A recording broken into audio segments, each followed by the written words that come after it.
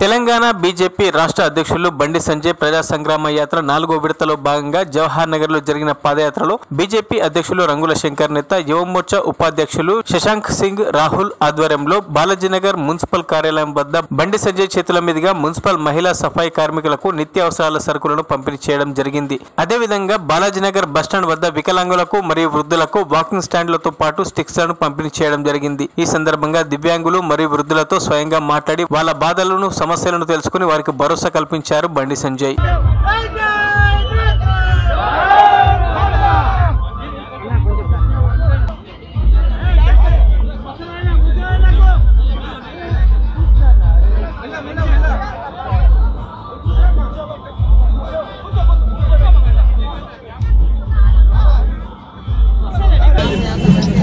గొప్పతనం తెలవని చెప్పి కాలు అడిగింది మోడీ సార్.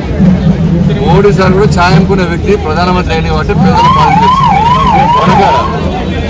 కాబట్టి అన్ని మోడీ సార్ చేశాడు కానీ మీకు ఇరవై సంవత్సరాలే చేస్తున్న ఏ పర్మనెంట్ చేస్తలేడు. అన్ని పనులు మీరే చేస్తారా? కానీ పర్మనెంట్ ఏమంటే మీరు పర్మనెంట్ ఏమంటే ఉద్యోగం తీసేస్తాడు కేసీఆర్ సార్. ఇక ఇల్లు మోడీ సారమో ఏమో రెండు లక్షల నలభై వేలు ఇల్లు ఇచ్చాడు ఇక్కడ. పేదోళ్ళకి ఏమని చెప్పాడు?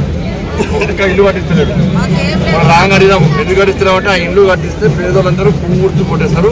కాబట్టి ఇల్లు కట్టి అంటున్నాడు కాబట్టి ఇలా మోడీ సార్ అన్ని ఇస్తాడు ఇలా కేసీఆర్ సార్ అన్ని మంచిగా మంచిగా చెప్పబెట్టుకుంటాడు మన బియ్యం కూడా ఇచ్చాడు. మీకు వ్యాక్సిన్ కూడా ఫ్రీ ఇచ్చాడు. ఒక్క వ్యాక్సిన్ బయట కాదు